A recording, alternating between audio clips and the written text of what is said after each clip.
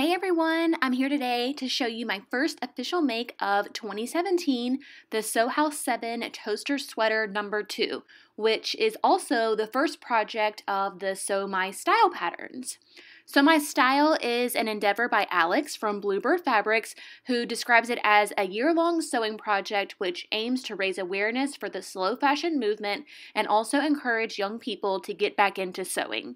We will be sewing 12 garments in 2017, one each month, and sharing the project on the last Sunday of every month.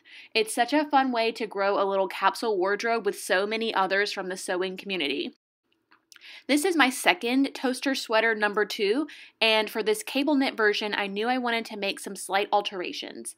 I shortened the sleeves by half an inch and lengthened the front and back bodices by two inches. I think for my next version, I will continue lengthening the bodices possibly as much as another two inches.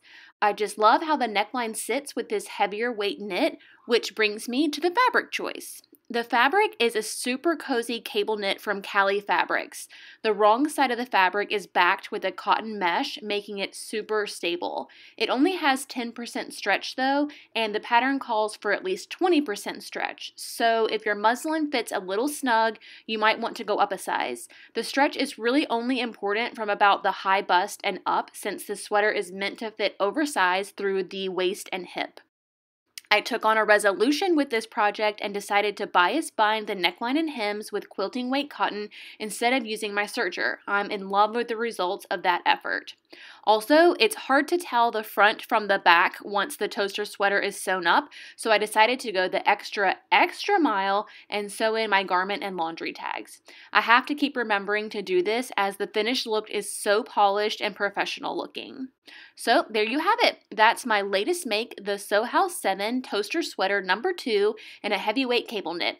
It was only 45 degrees when I shot this, and my southern blood cannot handle this kind of cold, so I don't have a ton of footage of me modeling it, but I really wanted to show you how my sweater turned out anyways. So sorry for the shivers. Also, look how big my pants have gotten. I'm finally getting off the weight that I gained while I was sick. Yay!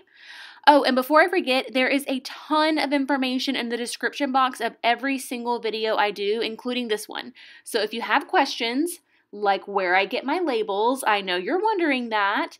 They're most likely already answered there. Just click the Show More button if you're watching on a computer or the teeny tiny little arrow on the bottom right of the video viewer to reveal it if you're watching on a mobile device like your phone or a tablet. If you have other questions that aren't answered in the description box, just leave them in the comments. I read every one and reply to most of them. So until next time, bye.